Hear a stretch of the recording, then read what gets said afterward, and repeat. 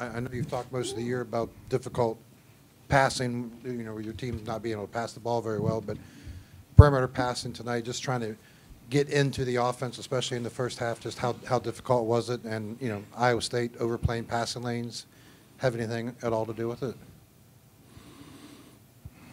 Well, it's just not the passer a lot of times. It's it's the guy who's supposed to be the receiver taking shortcuts. And, and so consequently they can they can stay up the line. They're a good team. They're a good team. They're extremely well coached. I mean, they're going to do the right things. But I can't tell you somebody in this league that's not going to do the right thing. Coach, what do you make of the Big 12 right now? We're halfway into this thing. I haven't paid any attention. I paid absolutely zero attention. I can't tell you what anybody's record is, except for ours. I'm miserable. I don't, you know, when you win one game, you're, I'm worried about us. Bob, what happened with the, with the technical fouls? What what was, what was your grievance there? What was my grievance? Well,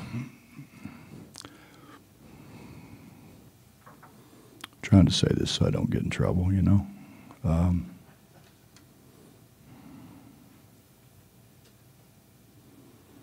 I just think things ought to be equitable.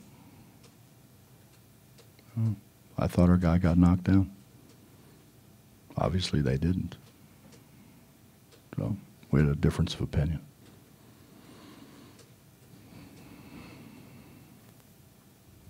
What did you see from Iowa State's offense? Obviously, the last this game and the game before, they've shot a high percentage. No knock on them, but everybody shoots a high percentage against us. We suck. Um, they're good. They're good. I I I I admire, I admire uh, greatly guys like Weiler Babb who came in and really wasn't uh, a polished guard. He is now. He's made himself a good shooter.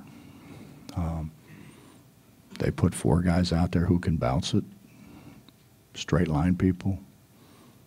They do a great job of spacing. They're good. They're good. Steve does a terrific job.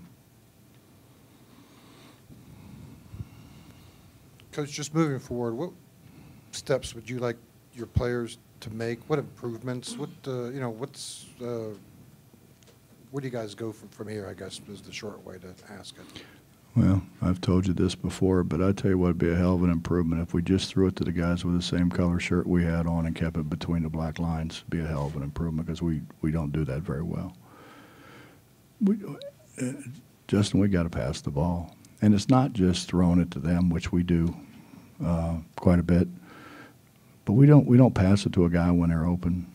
Um, I mean, we, we we miss so many open guys, and and you know, then what happens is you cut and you're open, you don't get the ball, and then you cut and you're open, you don't get the ball. Then the next time you don't cut and there is hard because they're not going to throw the ball to you anyway.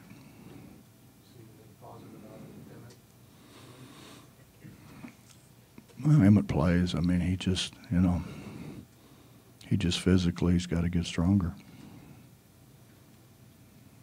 Become a more consistent shooter.